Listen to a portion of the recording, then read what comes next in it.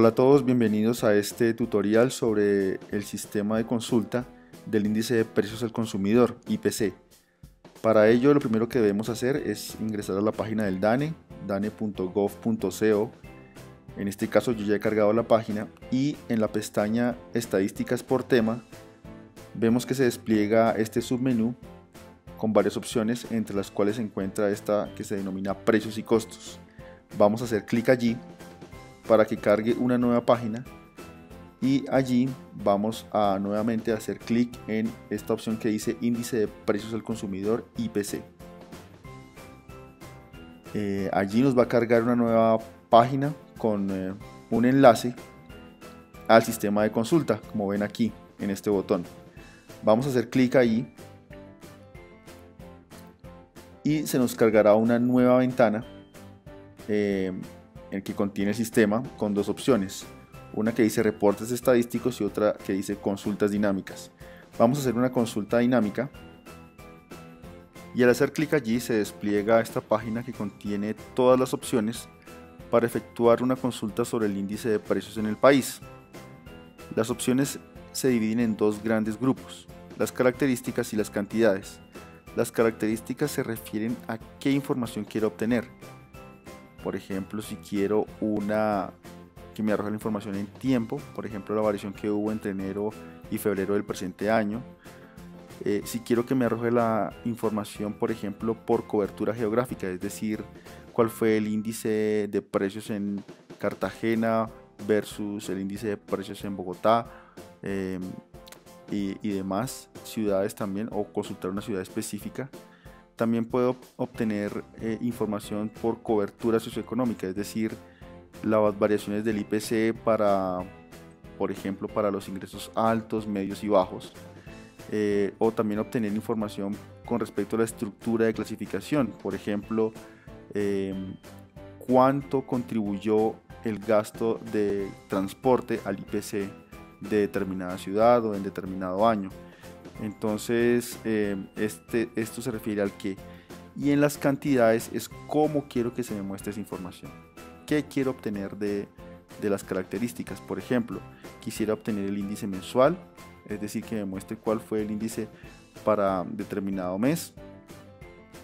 O si quiero que me muestre qué variaciones hubo. Por ejemplo, la variación mensual se refiere a cuánto varió el IPC de un mes al siguiente eh, o la variación del año corrido, por ejemplo, cuánto eh, se ha modificado, se ha variado el IPC en lo que va corrido del año. La variación de 12 meses es cuánto varió en el, último año. Eh, la variación trimestral se refiere a que me segrega la información por trimestres y la semestral pues lo hará por semestres. En la parte de contribuciones se refiere a cuánto contribuyó en puntos porcentuales determinado gasto, determinada ciudad, determinado nivel socioeconómico al IPC. Y también lo mismo, me muestra si quiero que se me muestre la contribución mensual, si quiero obtener la contribución en lo que va corrido del año, en el último año, en el trimestre o en el semestre.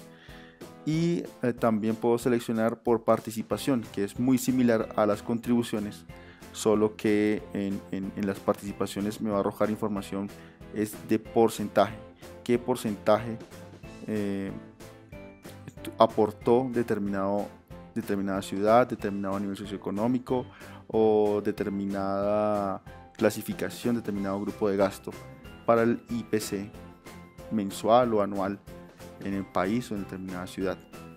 Es muy importante que antes de comenzar hayamos definido muy bien qué información queremos obtener esto va a facilitar la interacción con el sistema y va a evitar que nos enredemos con información innecesaria. Por ejemplo, yo quisiera consultar el índice mensual para los periodos de marzo y abril del 2016 y que me muestre la variación que hubo para, ambos periodos, eh, la variación que llevaban en el año, en el año corrido y la variación con respecto a los al último año, es decir, a los últimos 12 meses. Por lo tanto, para hacer esa consulta, lo que debo hacer es seleccionar en las opciones de las características los años, porque voy a necesitar que me permita elegir qué año quiero consultar, los meses, por la misma razón, para que me permita elegir los meses de abril y marzo, eh, el índice mensual porque quiero que me muestre el índice para esos meses y las variaciones corridas del último año y la variación mensual. Como no necesito ninguna otra información, no voy a seleccionar eh, ninguna otra casilla y lo que voy a hacer es hacer clic en este botón de la parte inferior que dice producir reporte. Como verán, el sistema me ha arrojado la información que le pedí, eh, la columna de años, la columna de meses, el índice mensual, la variación mensual, la variación del año corrido y la variación de los 12 meses. Mm, yo para seleccionar el año pudiera eh, hacer clic en este icono en forma de más que se encuentra en la parte izquierda de cada columna para seleccionar el año y aquí el mes que necesito. Sin embargo, si lo hago va a ser bastante más complicado porque me va a arrojar una lista extensa desde el año 1954. Para realizarlo de una manera más sencilla, me voy a dirigir a la función filtrar variables, que es este icono en forma de cubo, y hago clic allí. Al hacer clic allí se me despliega esta nueva tabla que es más sencilla en donde ya al hacer clic en la, en la opción años me va a desplegar este recuadro en el cual al hacer clic en este icono de más me va a desplegar los años eh, que se encuentran registrados en el sistema. En este caso voy a quitar la selección del IPC de mayo porque si no me va a mostrar el IPC del último mes que, está en vigencia para este momento es mayo 2016 entonces voy a, voy a, dejar de seleccionarlo y voy a seleccionar el año que necesito que es el, el de 2016 y hago clic en aceptar. Hago lo mismo en la opción meses para seleccionar los meses que necesito habíamos dicho que necesitaba la información de marzo y abril por lo tanto solamente voy a seleccionar dichos periodos y voy a y voy a decir que no me muestre el acumulado, el acumulado anual, solamente esos meses. También hago clic en aceptar